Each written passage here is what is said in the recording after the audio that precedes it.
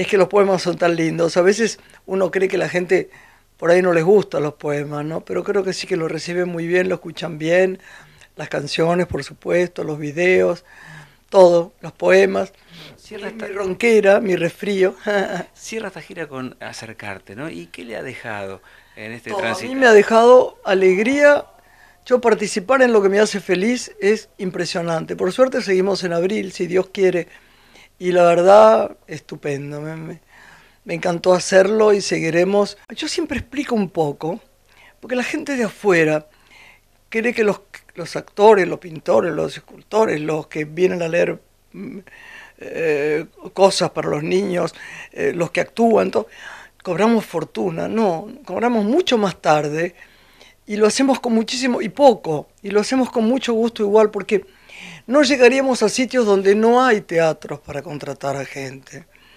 Y es tan lindo hacer eso, que no, nos mantiene vivos, ¿no? Nos da mucho placer.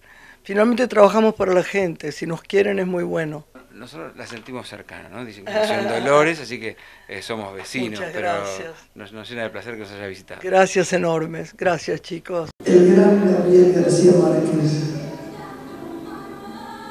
La divina, la divina China.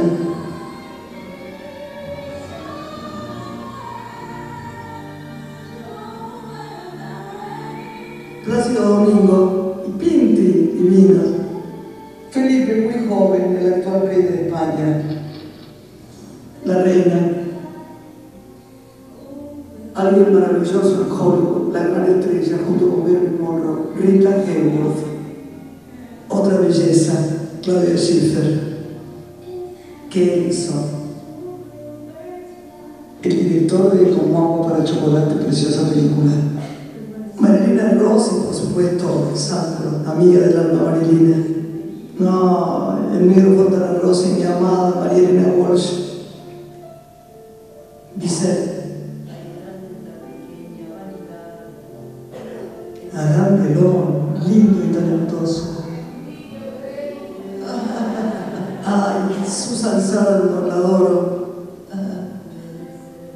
Qué abrazo más lindo.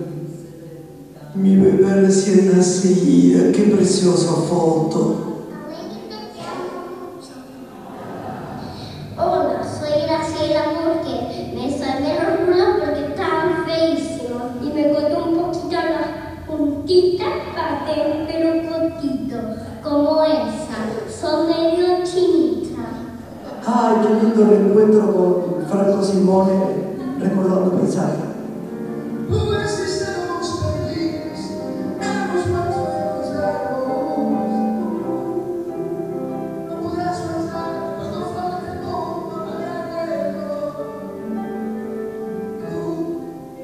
Charlie, genio.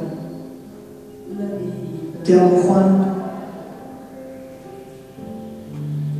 Nadie cantará como vos, negra del alma, un beso de chico.